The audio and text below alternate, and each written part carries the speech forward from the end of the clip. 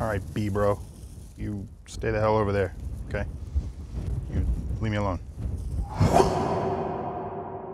So greetings from the relay house. As you can see, the view here is unreal.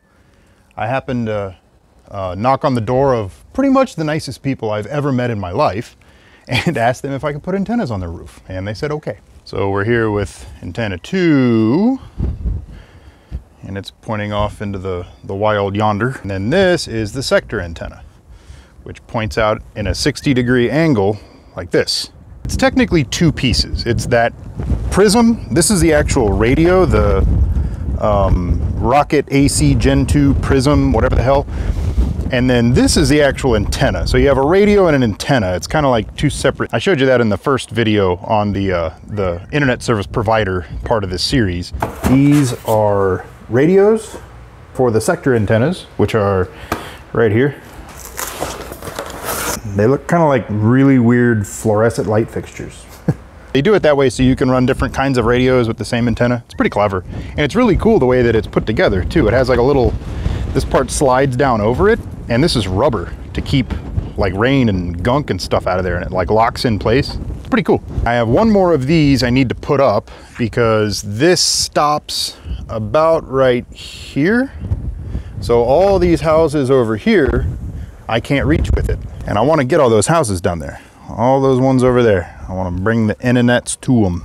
But first, as I'm sure you guys can hear, it's kind of windy and the main antenna is blowing around all weeble wobble all over the damn place. The mast on these is kind of thin metal. It's not really the, the most sturdy mast ever, so I'm going to reinforce it. I already did the one at the data center. I did that one yesterday. So that one's done and good to go. Oh man, look at it weeble wobble all over the damn place. Oh my God, it's moving so much. And these things are so sensitive as far as uh, aim goes. The, the beam on them is so thin, man, if they move at all, it goes all over the place. Like in the first video I showed you when it first got connected, you could see in the graph, the connection was just like this. It was nice and smooth. Now it's all over the place, up and down, completely disconnecting, all kinds of crazy stuff. It's really, really bad. The wind has essentially brought down the entire network and it's supposed to get windier this next few days, but like, I mean, look at that thing moving. I don't know if it comes through in camera, but man, it's flopping all over the place. Now it's time to get to work. Uh, obligatory time lapse? Yeah, I think so.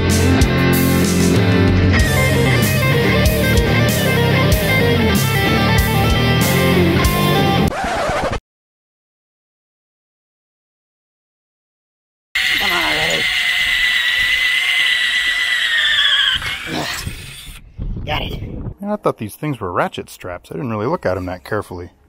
They're like some weird, like, what the hell?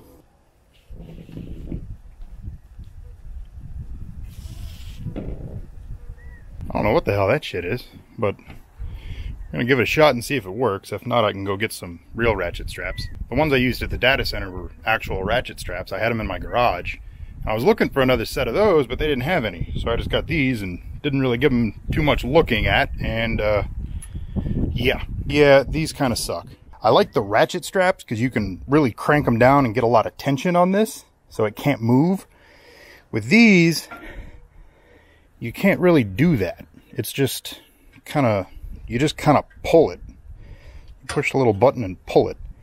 And there is no way to, I mean, it's going to back out a little bit no matter what. And that's why these are all freaking loose as hell. It's as tight as I can get them, but they're not tight at all. So what I'm going to do is, for now, I'm going to leave these and uh, I'm going to have to come back up and fix this, like do it with actual real ratchet straps because these things, they're, they're not getting anywhere near tight enough, not even close. I can see the thing moving around still. But I also noticed in the midst of all this that um, I forgot to tighten all the aiming bolts. so yeah, the wind's blowing it around, but it's just flat out out of aim, like completely. The thing moved. I'm gonna give it a re-aim. I'm gonna leave these here for now and I'll come back up and re-ratchet strap it for real. And uh, we'll go from there. So for now, um, moral of the story is uh, look at shit before you buy it. Later. So it's a little bit of bonus content, uh, how to aim these things. I was using this thing as a, uh, like a peep kind of, like a peep sight. Yeah, that's not even close to accurate enough. What you need is one of these, a, uh, carpenter's rule, or a carpenter's square. There we go. And what you do is you put it on the flat side of the antenna and you hold it on there. Oh, it's hard to do this one-handed. Come on. Get on there. There we go. And you look down the thing like a sight. So you can see this one's pointed right there, which is, uh, let me see, a little bit to the right of where we want to go.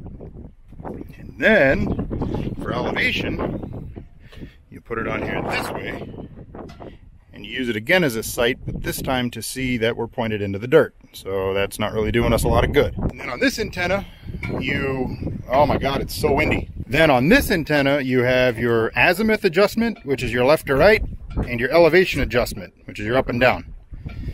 You turn these different directions very, very slowly. very slowly while you either have somebody on the other end of the link looking at reception, or you can plug into the data port and see what it's doing as far as reception goes. It's ideal to have someone on the other end, but I don't have anyone over there today, so we're going to wing it and uh, see what we can get done. Because there is a, if you look in the little box thing down here,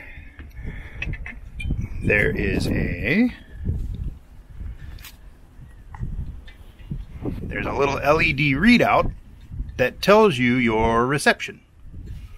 The lower the number, the better. And that's the basic gist of it. Um, it takes, with these big antennas, with a really, really narrow beam, it takes a lot of patience.